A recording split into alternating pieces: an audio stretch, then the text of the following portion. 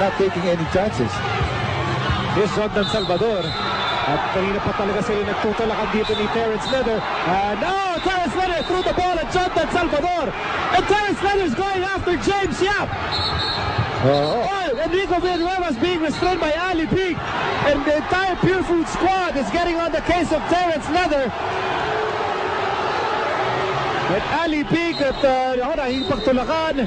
And boy, cooler heads ha- have to prevail here. That's Ali Pick and Rob Sands.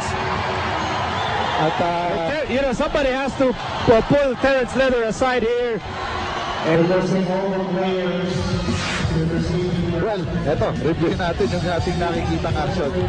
As usual, nagpo-poste nito si Jordan Salvador and Terrence Leather for the position.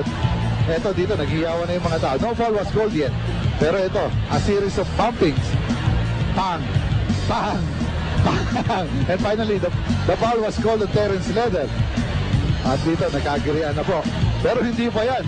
Ayun, binato yung bola.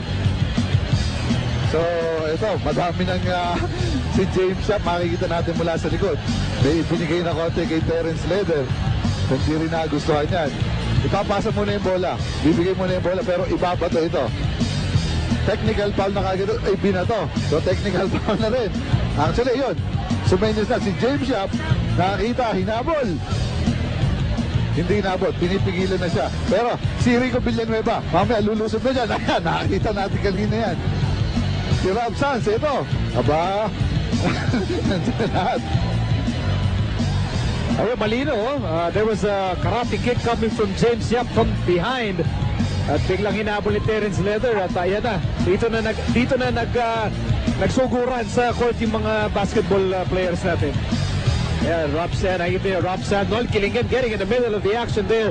And you can see Renner Netualo trying to pacify everybody here. Kasi Ali Pig eh. Natatawa ko kay Ali Pig eh. It's trying to restrain all the attackers from the foot. Kaya, kaya naman eh, kaya. Oo.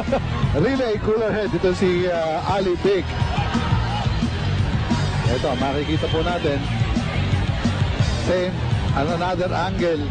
Pero dito, ito, tayuan pa rin po dito. Ayun, nagsimula sa batuhan. So, kailangan ang ating emosyon. And why not, Migo? Ika nga, ang matatalo dito, wala nang bukas. Oh, that's right. You know, perfectly understand. Oh,